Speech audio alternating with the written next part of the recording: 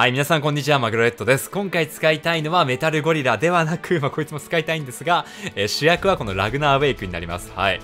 えー、これはですね、3つのトークンなんですが、まあ、どれもこれもデメリットを持っていて、ただその代わりすごいパワーを持っているっていうね、3体のトークンから1体を選んで加える、ハンドに加えるっていう能力になっています。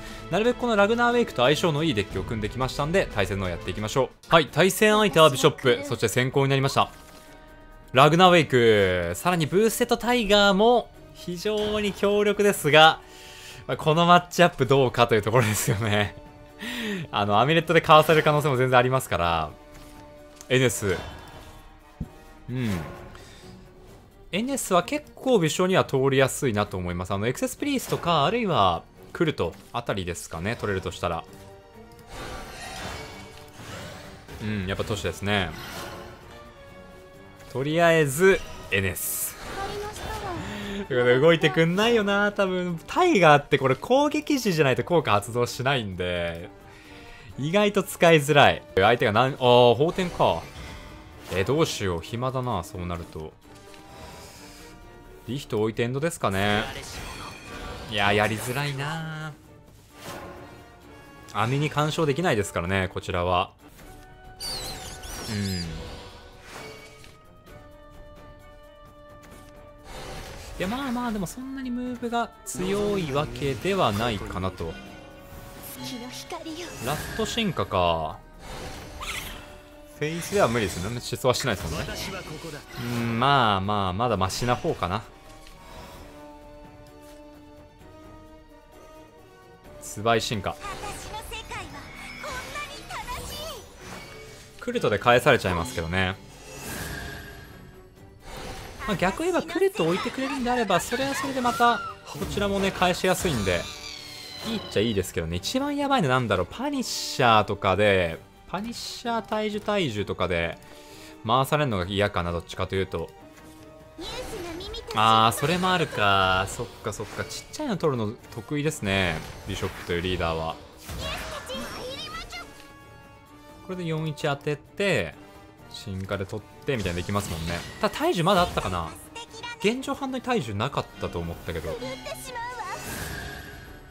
リッチ PP 回復すれば、えー、ジャスティスは使えますね。なるほど。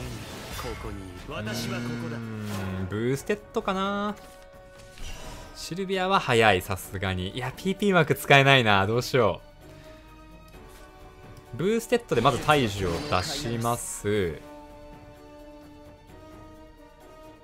上から取る手もあるけどいや相打ちでいいか。はい。で体重でこれ2コスト引いてくれば綺麗に動けますね。おーオッケーオッケーオッケー。ギリギリ動けた。継続か。まあ、今のところはいい調子ですがうーんどうかな。ラグナーウェイク2枚欲しいところかな正直エンジェルラット。うんスフィンクスとか出してほしいんですけどね。スフィンクスとか普通強い動きをやってもらえるとネメシスはかなり簡単に取れるんですよ。人形とかで調整できますから。おお芝いいいいですね。芝いい。EP は吐けないか。ちょっとライフきついけど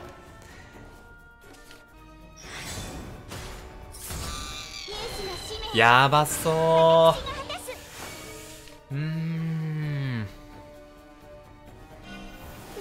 なるほど。案内人進化によって、まあ、体重をハンドに抱えるアニエスまで来そうなムーブですねこれは。でかつ33のラットまでプレイできるってくるとまあいますよね。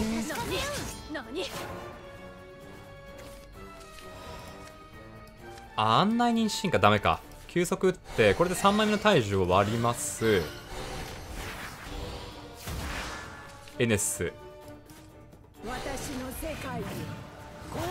はい。でこのキミでここまでは処理はいいんですけどまあ進化だよな。放置はできないよな。いやーメイク2枚ないか。2枚はない。はい。相手に4点ダメージそして46守護ですね。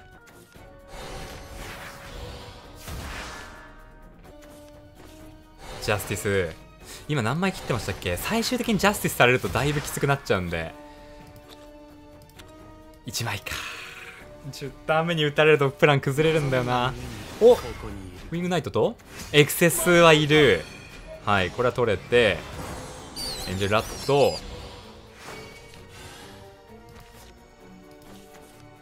体重。いるかなーニエス。まあさすがにない2枚目。よしよしよしよしよし悪くない。いやー引けなかったか。でもここねここでジオテとじゃないイザル行っても勝てないんですよね。じゃあジオテと言っても勝てないんですよ。多分。PP なくなっちゃうんで。だ僕はイザルエにしますここは。頼むぞ。これビショップで取ろうと思ったら結構難しいです。あの黄金都市がなくなってしまったのでエクセスプリーストがもう打てないんですよね。即時発動できませんからこのイザレイを取ろうと思うと結構難しい。説話えー、説話派じゃ。マジ。それは想定外だぞいくらなんでも。うわどうしよう。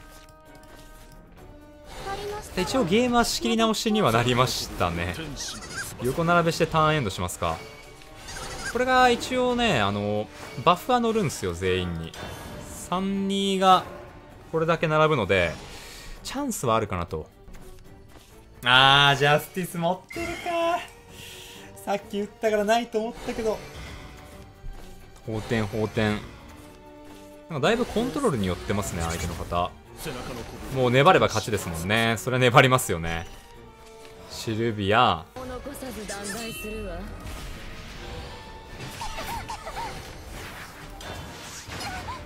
頼む。なんとかなってくれこれで。最後の1枚。ファニッシャー。あー全処理かな？全処理はある。どうだろう体重まだありましたっけ？アニエスいるか。相手としてはあ火が。リーサルには足りなくないですか？うん。足りないですよね。お。あーこれでリーサルこれも足りてない。1点足りてない。よし頼む。最後のドロー。ゴリラ！ゴリラ！ありがとう。ゴリラありがとう。ありがとうマジで。ああ相手の方もな フェイス来てくれたのよかったなマジで。ありがとう。はい対戦相手はロイヤルそして先行になりました。おーいいいいぞ。君も持っててもありかもしんないけどまあないかキープは。ブーステッドタイガー使いたいな。なんか先行でいつも来ないんですよね。高校で来るんだけど あいつ先行4で置いた時絶対強い。おおナイスナイスナイスナイス。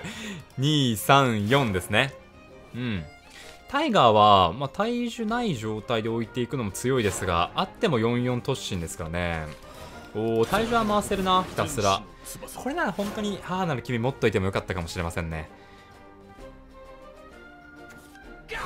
ハルバードうん。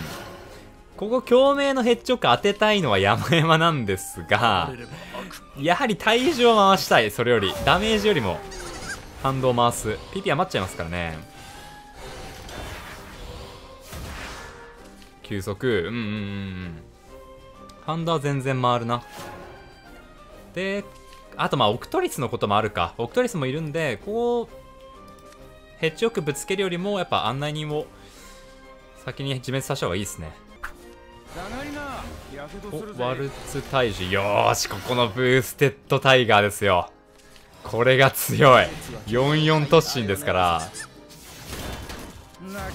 大抵の特に最近は33スタッツが増えたので昔のねジェノとかよりもかなり使いやすいですよね。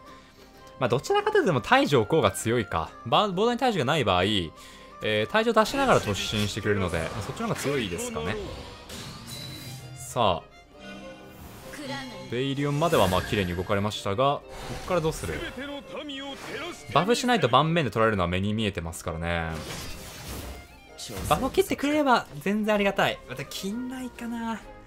22のトレード許すか？バフは切る。まあいいでしょう。切らせましたね。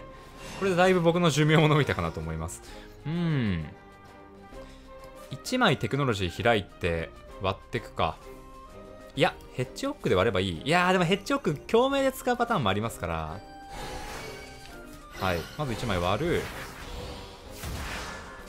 てか、なんならここで共鳴で使いますね。はい。これとこれで取っていくと。ごめんなさい、見せました。危ない危ない。今、たち、守護に当たってたら危なかった。よしよしよし。うわ、ベイリオン剣舞かな？なんだろう。まあ、EP まだ2個あるんで普通に切ってきた可能性もありますけどね。ベイリオン進化できれば強力なカードなんで。実質3コス44で、えー、1枚加えてますからね、トークンカード。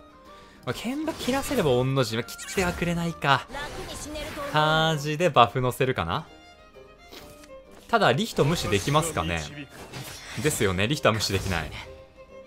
うーん、ツバイで行きたいけどないや、ツバイやめた方がいいな。本来ならツバイで、お来たラグナーウェイク。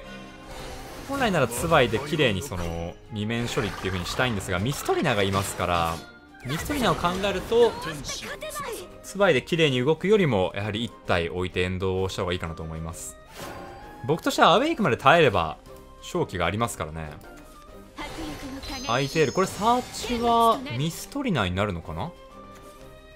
あディオーネ入ってる相手も結構遅めなのかな？おーエネスエネス行きたいですねうーん、どうしようかな。とりあえずエネスで、テクノロジー。これでツバイ打って処理ますか。私の場所こうかな。うん、シスターズで、ピ共鳴だったら暴れるんですけどね。3面展開でエンド。おおアウェイク2枚。これは熱いぞ。まずこれで強めに入れる。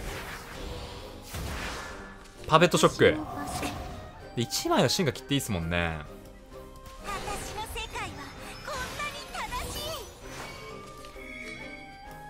ただやっぱり問題はやつなんだよなミストリナなんだよな。まあこのターンはもういいかミストリナ考えずに。ここ当てて。当てて。当ててかな。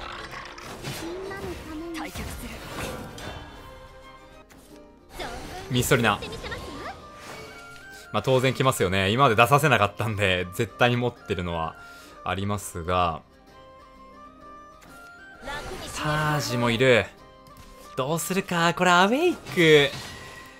イザルエか？あーなるほど。んでもそれでも結局エネスは取れないですもんね。うん進化プラス。えまさかエネスを取ってくるこれ。そこまで全力でやるか？エネス取るか。まあそっかそっか無視もできないもんな。だったらうわどうするか。いやでも猶予あるんでまずアウェイクでイザルエでいいのでは？うん。2枚ありますからねアウェイク。一戦問題ない問題ない問題ない。まずはイザルエ。でイザルエがボードに残れば普通にリーサルですから。はい。イザルエ。頼むよ。これでしかも相手の体重も割るのでかいですね。どう？無理でしょこれ返すの。ロイヤルで返せるか？まあ、シュガとかいる可能性ありますけど。こちらにシュバもいますからね。ブレイブマナー。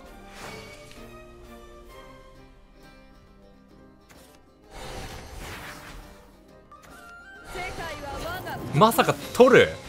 取りに来る？ここ。えー、っといやでも取れるのかな？無理じゃないかな？首飾りあっても2枚あ2枚あるか？一斉2枚ありましたっけ？おお取れる！取れるか！なるほど。ただですねお、ウェイクまた来た！これアウェイクで、ビズヤ取ります。はい。で、ターンエンド。ミストリナと、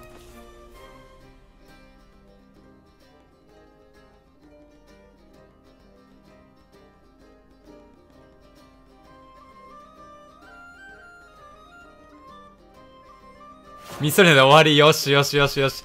えー、これどうするか。シバビゼは無理なんですよね。無理なんで、まあ、アウェイクで、えー、ジオテトかなジオテト選んで、はい。これで、じゃない、先か、ジオテトビズヤだ。これで、ほぼほぼ終わりでしょう。これでさすがに終わりでしょう。はい、ライフ2にして、あ、僕のドデッキ1枚ですけど。まあ終わり。守護が2枚貼れたりするとちょっとわかんないか。トップのカード次第になりますけどね。ありがとうございました。よ3人とも出てきたいいですね。え、でもパワーあるわ。終盤いろいろ使い分けれるの大きいですね。ありがとうございました。はい、皆さんご視聴ありがとうございました。いや、全然可能性感じました。もっと弱いかなって、もう正直内心思ってたんですけど、使ってみたらね、割と戦えたな、戦えたかなと思います。特にね、このイザルエ。うーん、ビズヤとかよりね、いや、イザルエだったな。イザルエが圧倒的に使いやすかったです。あの、デメリットもめちゃめちゃ軽いので、他に比べるとね。こいつはかなり使いやすかった。うん、ジオテトが思ったより使いづらかったですね。やっぱ自分の PP マイナス8っていうのが、出したらもう終わってしまうので結構難しかったかなと思う。本当に最後の締めで使う感じでしたね。はい。あとまあエネス。あの、動画ではあんまりお見せしてないんですけど、エネスのおかげでアグロして勝ったゲームとかが多くて、結構だからエネスとゴリラを使ったアグロ寄りのプレイもできるんですよね。はい。なんでそれが失敗してもラグナーウェイクがあるっていう風に使えるデッキだったんで、結構臨機応変に戦えて楽しいなと思いました。はい。というわけで、今回の動画はこれまでになります。ご視聴ありがとうございました。皆さん今回の動画もご視聴ありがとうございました今後もシャドーバースの地雷デッキといいますか、まあ、マイナーなデッキやちょっと変なデッキとかをね中心に上げていきたいと思います。たまに強いデッキも上げますがシャドーバースが好きという方よかったらチャンネル登録お願いします。それではまた次回の動画でお会いしましょう。